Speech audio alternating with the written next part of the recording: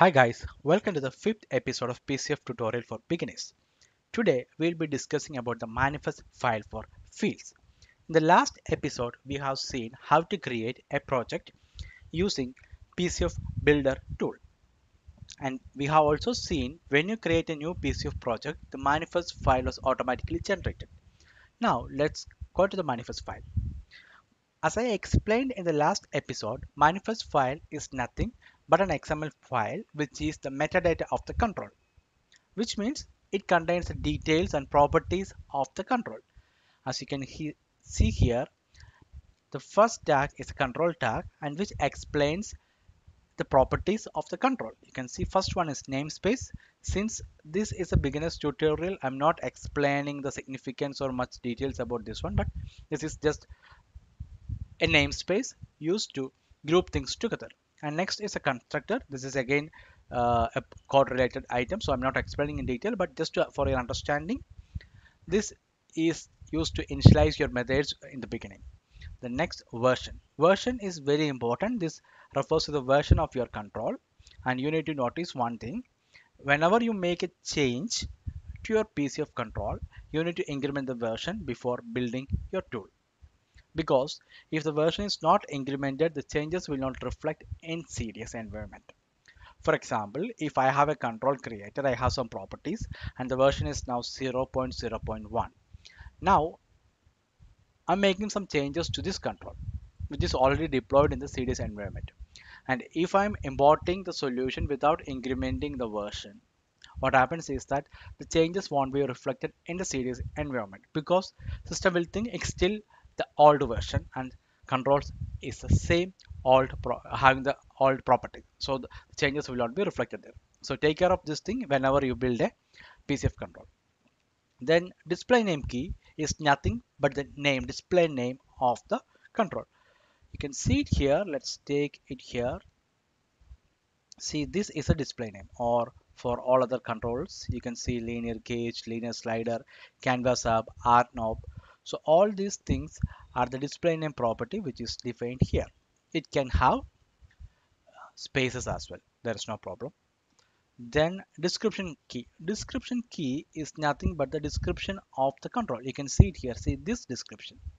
So whatever you give there, it will be reflected there and this also can have the white spaces. Next item is control type. Control type is standard property uh, it will be all uh, no need to change this and this will this will be always standard until an update from Microsoft. So let's go to the next item. Property. Property is actually what you call the bridge between your control and the CDS or in simple terms you can call this as a parameter to the control. Like you can pass values or you can pass values from control to CDS also. So its uh, parameters are similar like name is there. This is a name of your uh, property. Then display name as I shown here. I'll take another example. Let's go back to our control and I'm taking linear gauge add. So these are the properties. This will ask us to we, we can define values. We, we can pass values to the control. It can be from a field or it see you can take this value from a field or you can type in the value here. This i think i have already explained in episode number three. You can pass this value. So these are these properties or these parameters we define as properties like here. Okay. So description key uh, description key is a description of the uh, parameter. Like you see it is changing here. So this text like the text you give here will be reflected over there. And the display name. Same as the control name and uh, control display name and the, uh, the description. Okay. Of type. Here this is the type of the uh, property. Which means it can be single line of text or whole number uh, like like that. And there is one more type which which I'll show from another manifest file which is type group. You can define a group of data types also for a property. For example, here you can see I have created a new uh, type group called numbers and I have added all the data types like whole number, currency, floating point and decimal. And here I have given inst instead of in this manifest file what I have given is of type. But since this control is going to have multiple type of uh, data, data multiple data types as parameter, I have given of type group which means this is going to be or this property is going to accept a group of uh, data types which and I have given the group name numbers and it, it has these values. So when you upload or when you publish this uh, control to your CDS instance and here I'll take yeah here when you try to uh, take value from a field see it will list all these type of fields. Or you can or it will accept not only like uh, that way it will accept all these type of values from here. Okay. Hope that is clear. And we'll take next one. Let's see it here. Here next item is usage. And it is mentioned here bound. There are two type of properties uh, you can define here bound or input. Bound is nothing which is bound with a field in the CDS environment. For example let's take this one. Here if you take uh, I'm canceling it. Okay what happened yeah. So for this linear gauge value property was bound one. And you can see I I'm adding this to budget amount field so what happens is that it will be it will take the first one and it will be bound towards the budget amount field.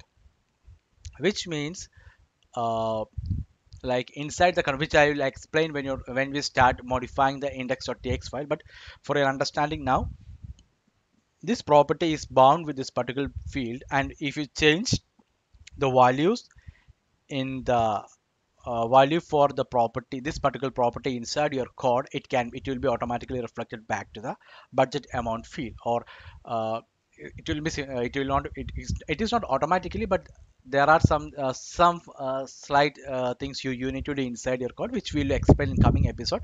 But uh, for now just understand this is going to be uh, bound with a field in the CDS and this is not editable as well. Now please note that if a field is bound it will the control will take directly take value from the field and it will push values to the field as well.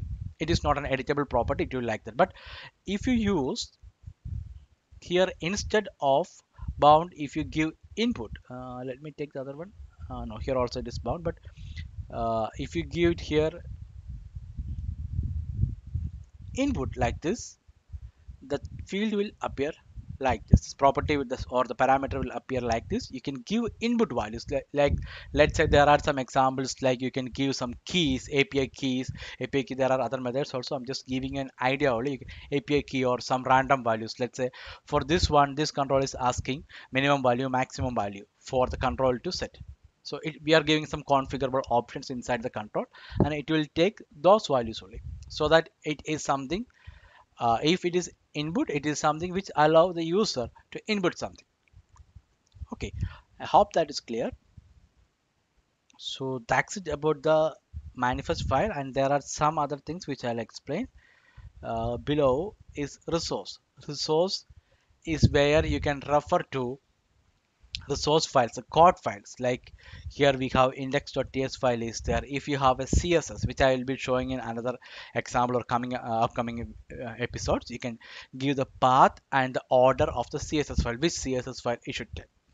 And another uh, tag is the uh, feature usage, which means which all features you must be using in your PCF control, like uh, capture audio from the device, capture image, capture video, barcode value, and uh, current position, pick file picker, or to use web API. Please note if you need to use web API inside your control, you need to enable this one. Uncomment you can uncomment this part of code and you can enable it.